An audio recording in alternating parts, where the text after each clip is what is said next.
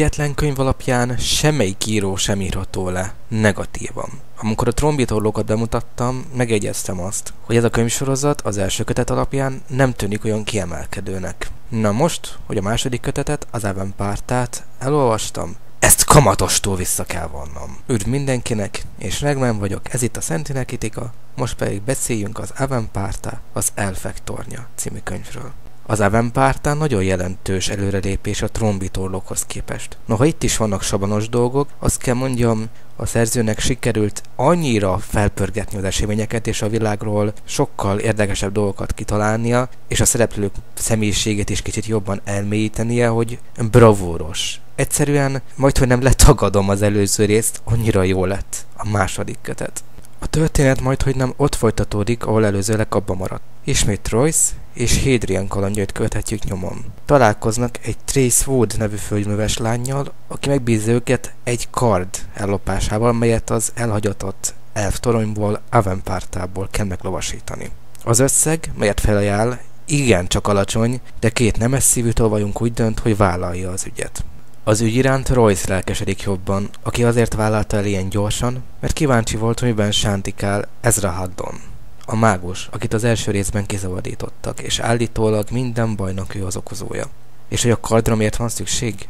Mert csak is kizárólag az elf pengével végezhető ki, az a szörnyeteg, aki a toronyból gyakran kiszáll, szó szerint, és elkezdi levadászni a falubélieket.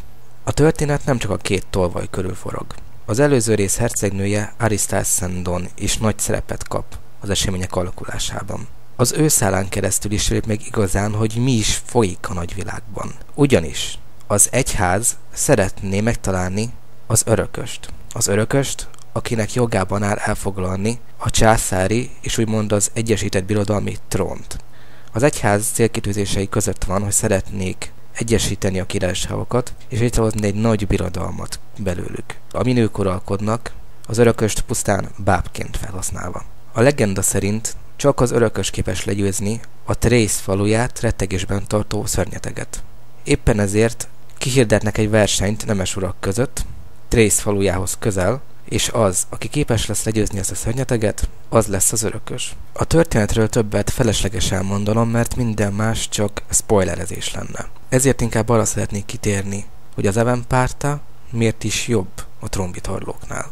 Először is azért, mert jobbak a karakterek. A két főszereplő múltját kicsit jobban megismerjük, jellemüknek más aspektusai is megmutatkoznak, és úgy amblok sokkal szimpatikusabbá válnak, mint az előző rész alatt. Már egyáltalán nem tűnnek kétdimenziós sablon karaktereknek, hanem kezdenek igazán kidolgozott főhősökké válni. Ehhez jön még hozzá az, hogy Aristal Sandon is elég sokat változott, Ezra Haddonnak is jobban megismerjük a motivációit, és rájövünk, hogy nem is egy rossz karakter, és a többi szereplő bemutatása, például Tracy, meg mindenki másé, egész jól sikerült. Nem minden szereplőnek van nagy szerepe, de ami van nekik arra tökéletesen elegek, sőt, talán még valamennyire túl is teljesítik a kötelességüket.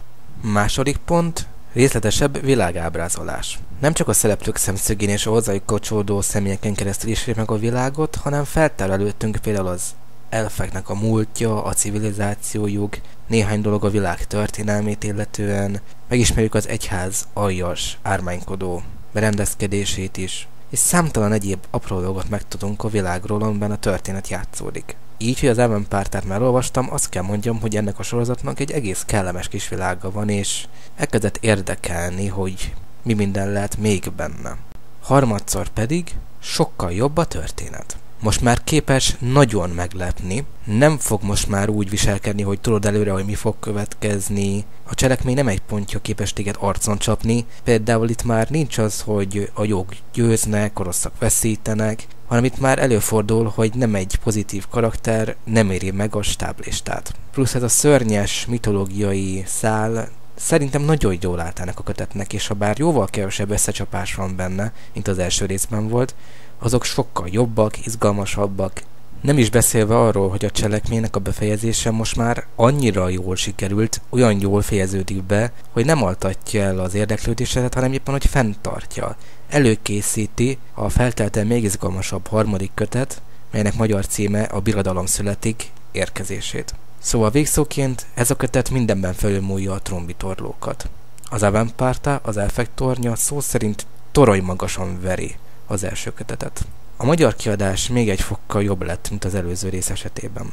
Noha a betűk már nem dombornyomottak, ettől függetlenül még mindig csillognak, és a borító gyönyörűen néz ki. Még mindig. Sőt, a kiadó innentől kezdve a francia változat festményeit fogja alkalmazni, tehát garantáltan nagyon szép, nagyon fantasy hangulatot keltő.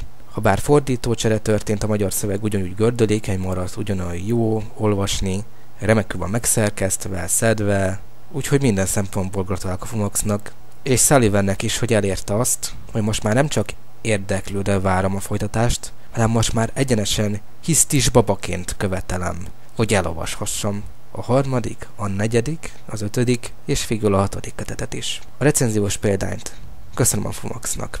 Sziasztok!